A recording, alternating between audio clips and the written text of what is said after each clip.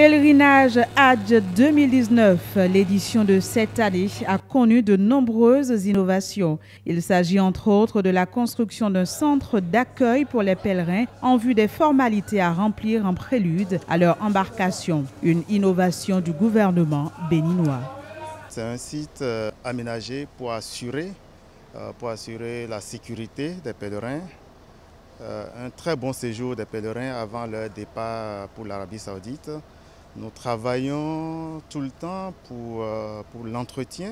Ce site a été aménagé de telle sorte que toutes les opérations aéroportuaires puissent se dérouler là-bas. Donc le gouvernement a mis tout le budget qu'il faut pour que les installations puissent se faire à la place Idi. Autre innovation du gouvernement, le transport des pèlerins du site d'accueil à l'aéroport de Cotonou. À cet effet, un partenariat a été noué avec Air Benin Taxi. Nous avons carrément transféré l'aéroport de Cotonou sur un site neutre, le site IDI, sur lequel nous sommes en ce moment et sur lequel nos passagers sont en train de faire certains la pesée des bagages et d'autres euh, leur embarquement pour euh, aller vers l'avion.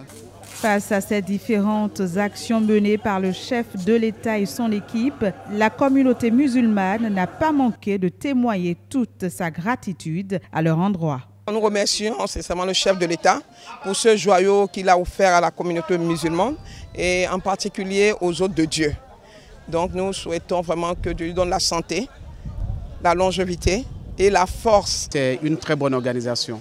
Déjà à notre arrivée, la sécurité au niveau de la porte, au niveau du portail, la propriété de l'intérieur, le cadre très attrayant tout ceci donne une bonne impression et ça donne l'envie d'aller à la mer. Cette année, vraiment, c'est bon, le centre qu'on nous a trouvé, le centre qui a été réservé pour les pèlerins, vraiment c'est intéressant. Ce n'est pas comme les autres années, à Zongo par exemple. À Zongo, il n'y a pas du tout de la sécurité. En tout, huit vols sont prévus vers la Mecque. Le premier avion des pèlerins vers la Terre Sainte a pris son envol ce 27 juillet avec à son bord 284 passagers.